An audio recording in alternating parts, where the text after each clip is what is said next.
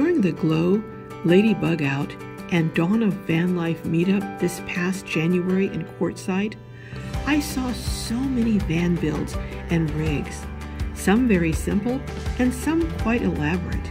I am going to share one of them with you today.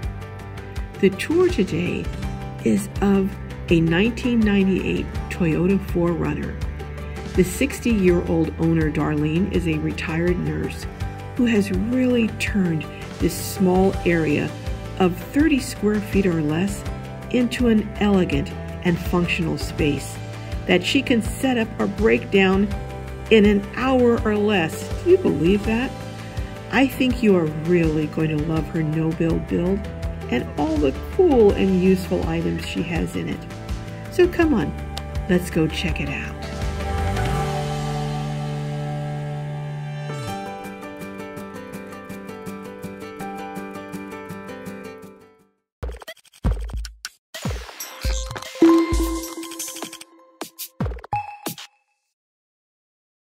Well, hello, Darlene. Hi.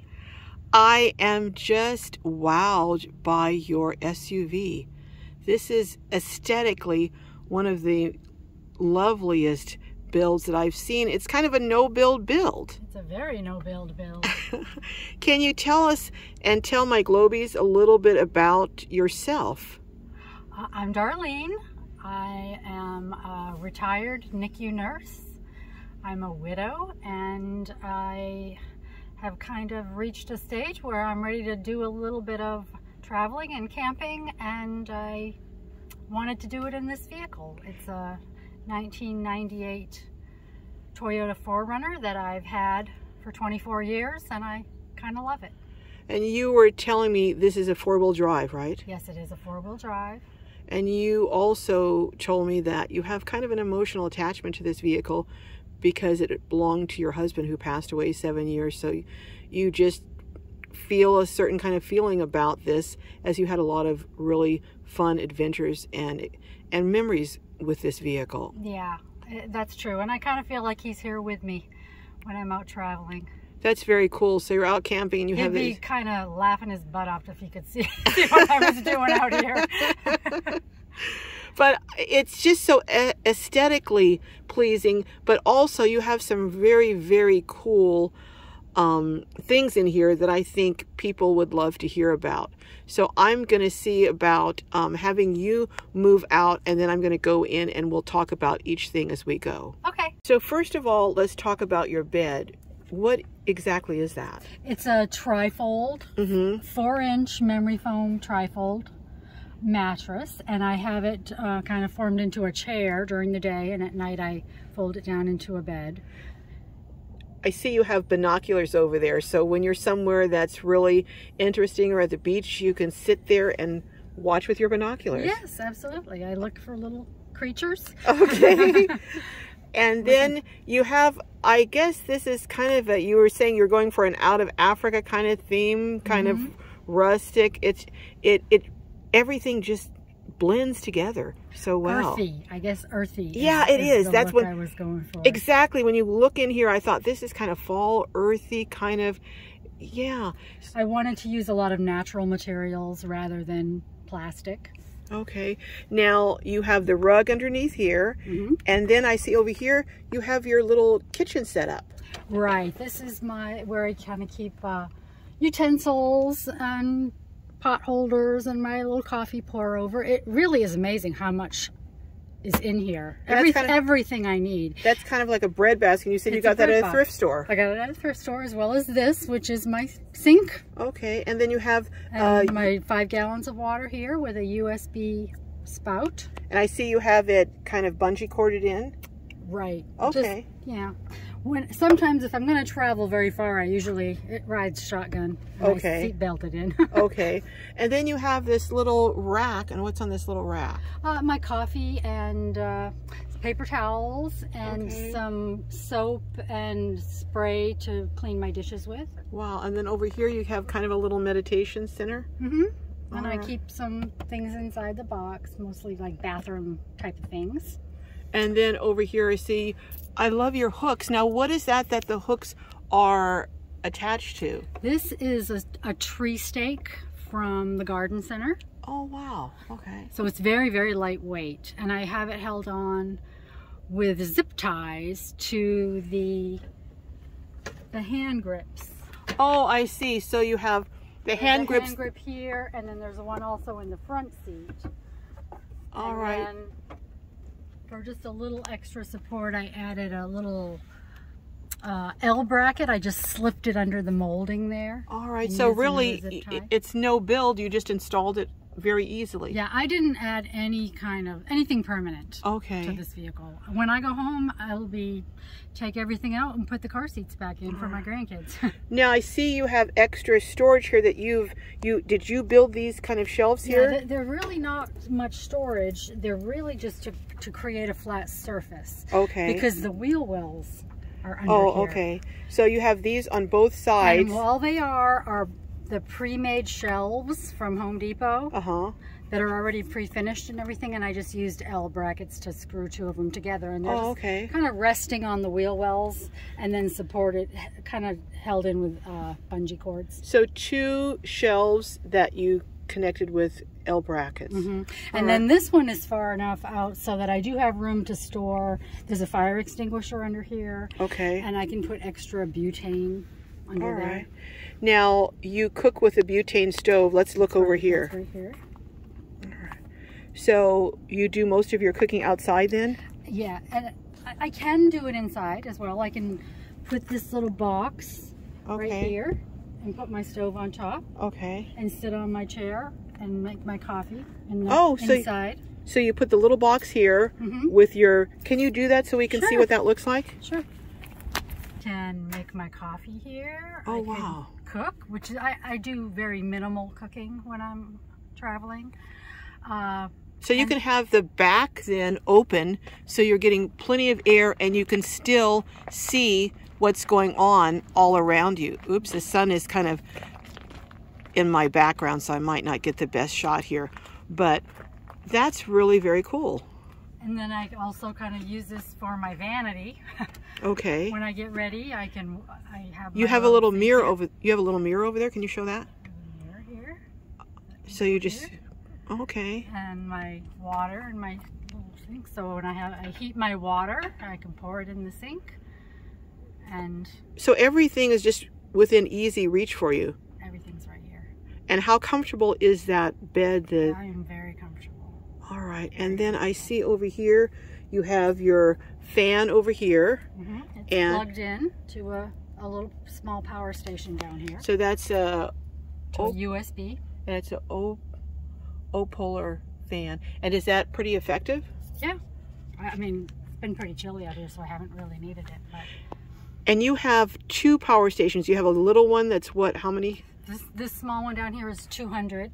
Okay, Uh, think watt hours is how it amp hours, I think. amp hours. Or And then I have a, a Bluetti 715 that is between my cooler and my dry box. okay, so and that's what does most of your. Right, and I don't really use much power, so I have more more than I need. I uh, I have a polar. Uh, I'm uh, sorry, a um, a portable solar panel. Oh, okay, and what wattage is that? It's 100 watts. Okay. And then you have, I see, one of the things I saw that you're using that I really liked was this chair, this blue chair. And I'm just going to show real quick. I can pick this up with literally, actually with one, with one finger. It's so light. And I just really love this. How do you like this chair? I like it. It's very comfortable. One of the things that I really like about it is that it has an extra brace down there so it can support someone who's heavier like me. You just have so many cool gadgets here that are functional and useful and make this small space just really like a little I wanted it to be efficient. it's very efficient. And one other thing I wanted to show, that's a USB lantern. Can you take that down and show us? Sure.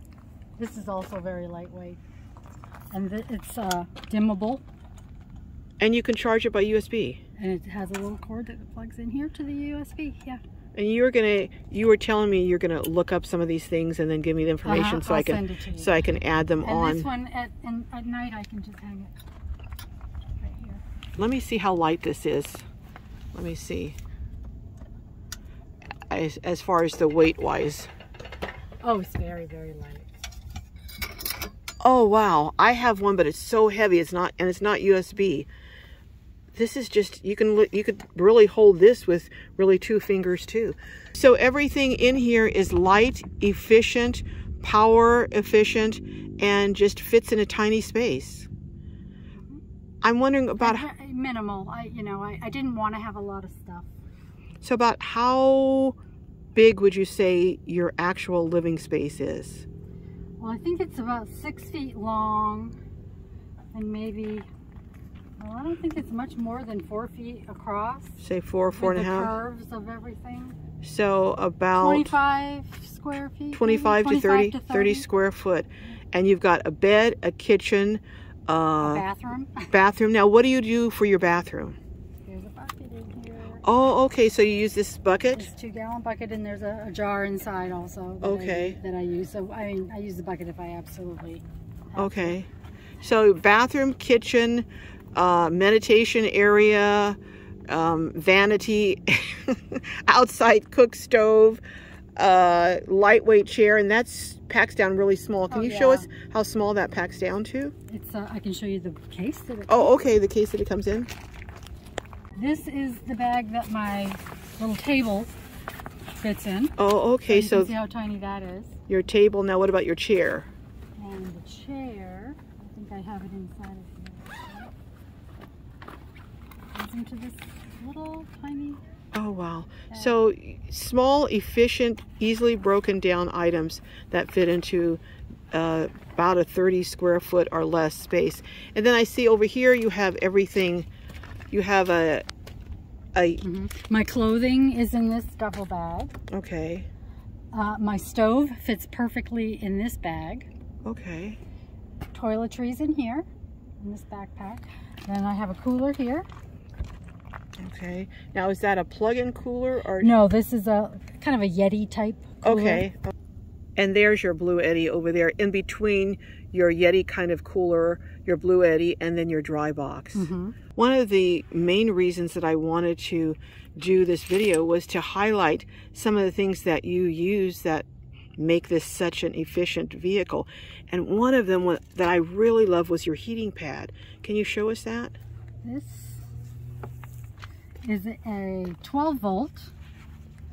Um, it's it's made for a front car seat, for a driver's seat. Oh, okay. So it's a so it's a, a car seat seat heat, a seat warmer, hmm and you use that underneath your sleeping And bag. I put it under my sleeping bag, Okay. and it has you know a little control on the cord, And that really keeps you warm. and it keeps me toasty, Oh, wow. And it doesn't use up very much and power. it doesn't use very much power. All right. You're going to give us the information on that so I, I can put that in the description so Globies can look that up. Well, Darlene, you just have a really lovely setup. Thank you. And you are, well, where's your next adventure to?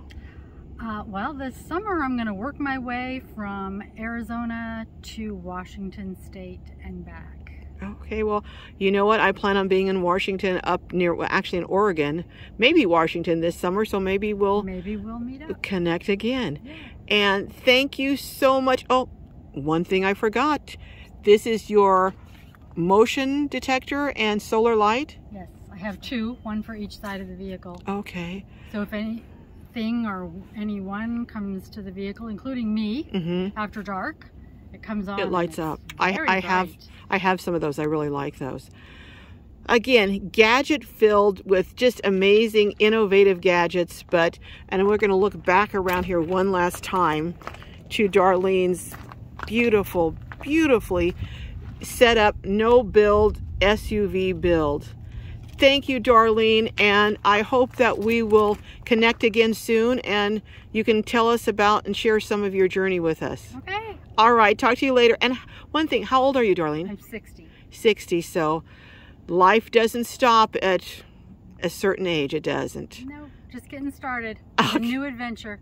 Thanks so much. Bye-bye, Darlene.